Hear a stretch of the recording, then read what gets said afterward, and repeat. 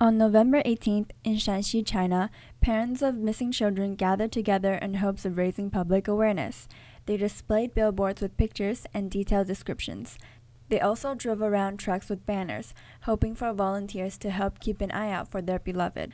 Alongside these pictures, the concerned parents also gave out safety tips to help avoid any further kidnappings. Wang Wanruo, John Berge, ICN San Francisco.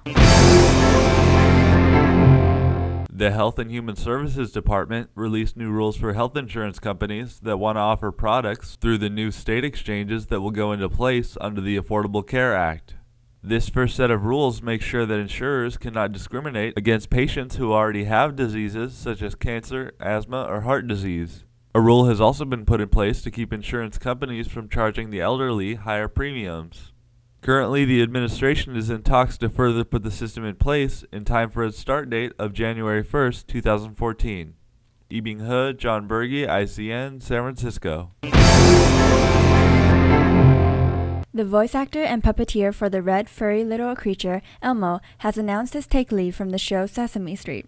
Kevin Clash, 52, took leave due to the controversies surrounding his personal life with an underage 16 year old. Clash was accused, then disciplined for his poor judgment. Clash came to be saddened by the 16 year old's accusations, saying that it was always a consensual relationship. He considered his sexual orientation to be private, but not secretive. Clash was always a well respected and long lasting member of the show since 1979.